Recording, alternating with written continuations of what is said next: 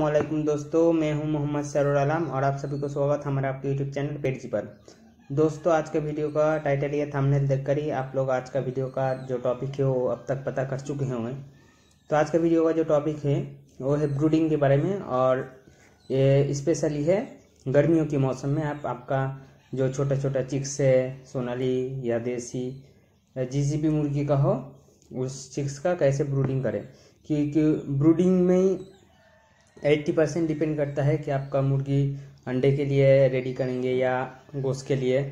तो कैसा रहेगा, कैसा रिज़ल्ट देगा, फ्यूचर डिपेंड करता है ब्रूडिंग पे।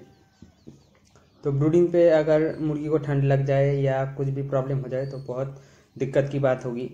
तो पहले आप लोगों को मैं बता दूँ, आप अगर दो सौ चिक्स है तो आप जो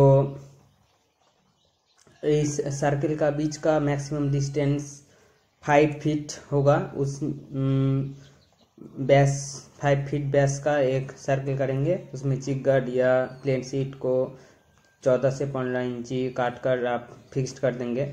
और नीचे दो से ढाई इंची टूस जो चावल का खोसा होता है, उसको देंगे। तो उसके ऊपर पेपर बिछाकर आपको ड्रिंक कर रख देना है।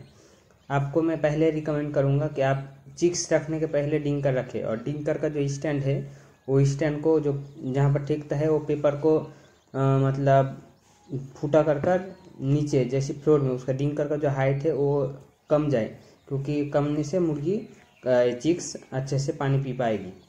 और आ, हमारा इधर बड़ा वाला डिंकर है इसीलिए हम तीन डिंकर दे हैं। आपका छोटे छोटे डिंकर होगा तो आप छः सात डिंकर दे देंगे।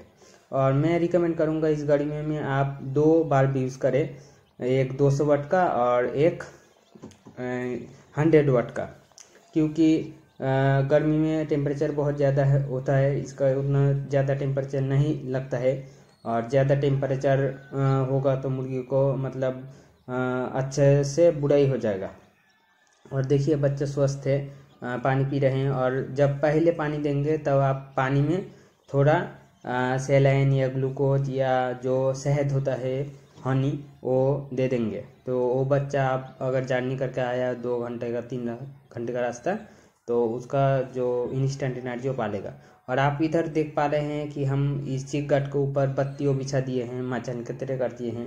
तो इसके बारे में हम बता दें, ये जो, अभी जो गर्मियों के मौसम में जो विकाल मतलब आफ्टरनून होता है उसमें कब कभार पानी हो जाता है मतलब अचानक से पानी चल आता है, तब वो जो टेम्परेचर अचानक से कम जाता है तो क्या करना पड़ेगा? इस मचान के ऊपर आप चट्टी बिछा देंगे। जो प्लास्टिक का हो या बोर्ड हो कार्टून हो, बिछा दें, या कि अंदर का टेम्परेचर ना लिखे, तब आपको दो बल्ब जला देना है। आपका चिक्स अगर देखें कि मतलब खुले खुले फिर रहे हैं, घूम रहे हैं, ऐसी। तो मतलब टेम्परेचर ठीक है, उसको एक बार दो सौ वाट का देने से ही ठीक है।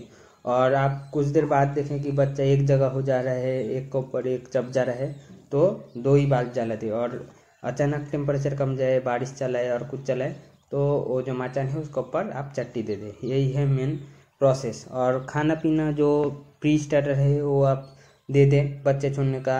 आध घंटा या एक घंटा बाद पानी आगे पिएगा, इसका बाद बच्चों को दाना देगा। और तो डिंकर के बारे में तो बता ही दिया। और यही है आज का बुडिंग का प्रोसेस। तो अगर वीडियो को पसंद आई तो वीडियो को एक लाइक करिएगा। चैनल को नहीं सब्सक्राइब किया हुआ है तो ज़रूर से सब्सक्राइब करिएगा, क्योंकि बुडिंग का नेक्स्ट जो है स्टेप, वो भी हम इस चैनल में डालेंगे इंशाल्लाह। तो ज़रूर से चैनल को सब्सक्राइब करके रखेंगे और बुडिंग देख ही सकते हैं। तो अगर आपका कुछ जानकारी चाहिए, कुछ ही मतलब पूछना है हमसे तो ज़रूर से कमेंट करके बताइएगा, हम रिप्लाई देंगे इंशाल्लाह। तो आज का वीडियो को यहीं पर रखते हैं। बात होएगी नेक्स्ट वीडियो में नेक्स्ट किसी टॉपिक में। तो अस्सलाम वालेकुम